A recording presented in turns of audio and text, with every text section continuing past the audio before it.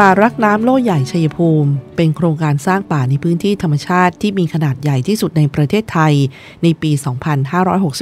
2561 มีพื้นที่ดำเนินการและอุทยานแห่งชาติตาดตนจังหวัดชัยภูมิ บนผืนป่าที่รัฐบาล มีนโยบายการทวงคืนผืนป่า ที่มีการบุกรุก คืนเป็นพื้นที่ของรัฐ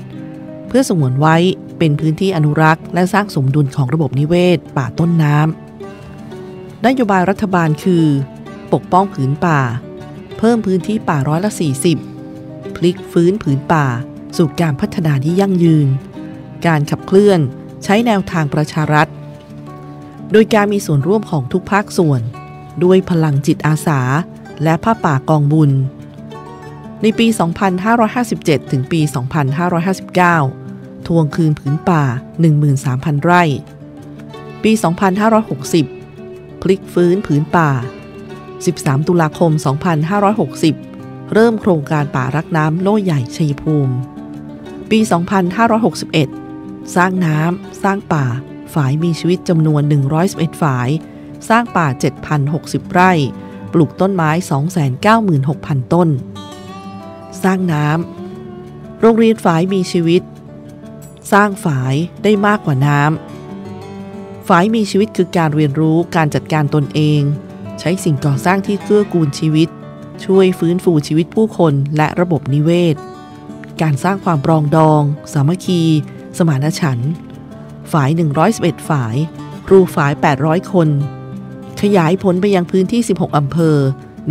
1,617ฝ่าย ในการปลูกต้นไม้นี้เราแบ่งพื้นที่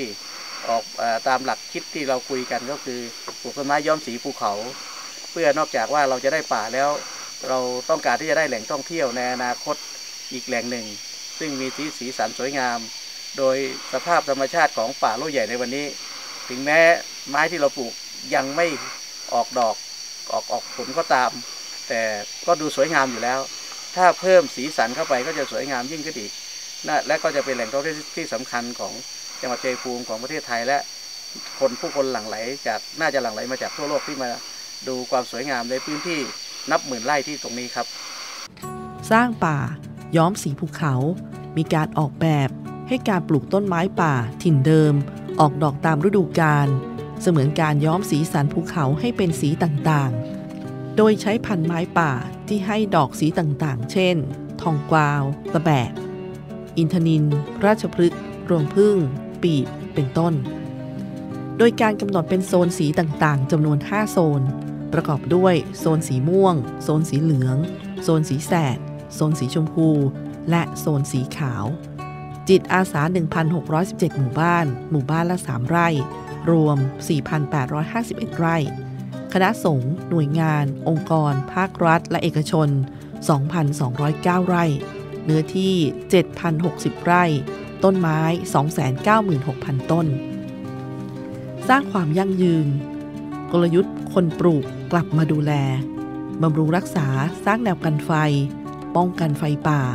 สร้างการกระจายน้ำ ผลลัพธ์ที่ได้คือความชุ่มชื้น ผืนป่ากลับมาอุดมสมบูรณ์ แหล่งท่องเที่ยวในอนาคต สร้างงาน สร้างอาชีพ สร้างไรายได้ ความรัก ความสามัคคี ความภาคภูมิใจของชาวชัยภูมิ เราทำความดีด้วยหัวใจที่